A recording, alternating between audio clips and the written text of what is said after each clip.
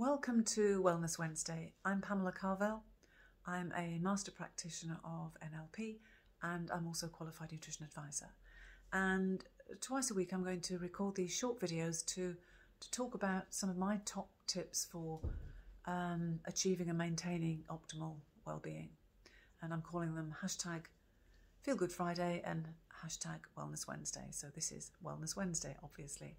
And I want to talk today about hydration because the, the sports scientists, sports nutritionists have shown that by the time you're feeling thirsty, you're actually already dehydrated. So you should never let yourself reach the point where you are dehydrated and feeling thirsty. What they've also shown is that even if you are as dehydrated by as little as 1%, that can have an up to 5% impact on your ability to perform physically or mentally. That's how significant it is. So think, think about that.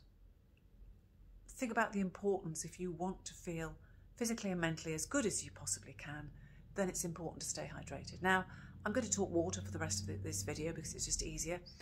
M my hydration of preference is Evian mineral water because I love the clear, clean taste of it.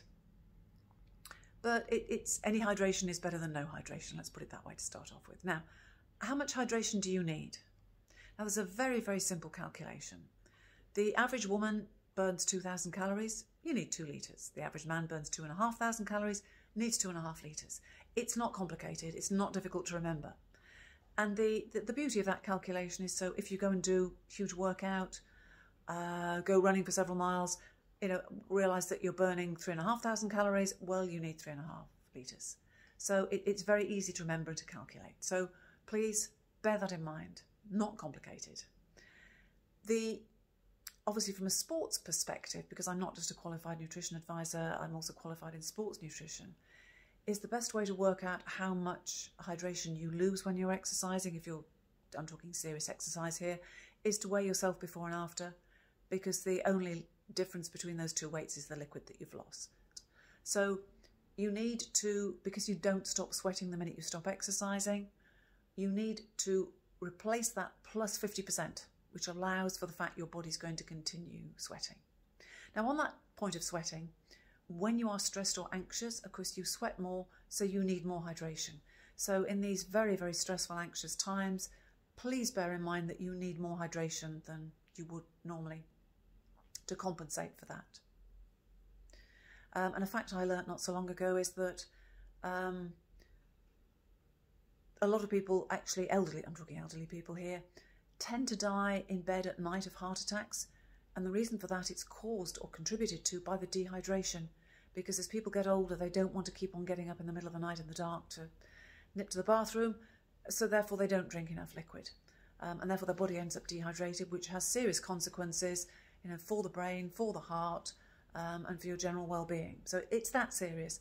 Another thing to bear in mind is your body can do without food for a long time. In fact, even somebody who isn't overweight has enough fat resources to run 15 marathons. Yes, and that's from a, a nutrition textbook.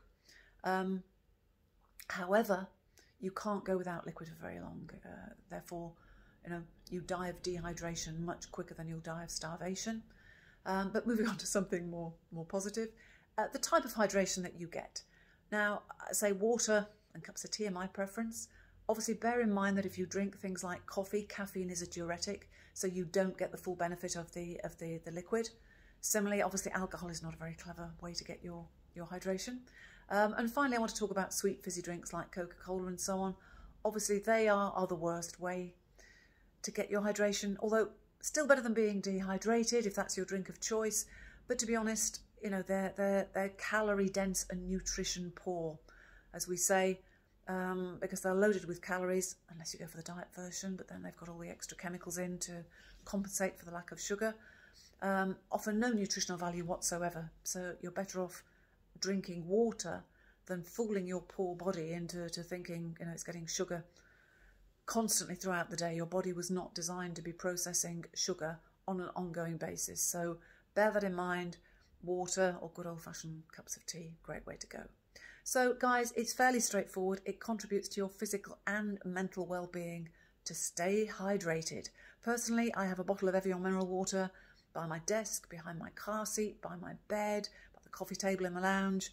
You know, I'm, I'm, I'm a real drag in that I've got water everywhere I go but it means that I never end up dehydrated. So, guys, this is your Wednesday wellness tip stay hydrated.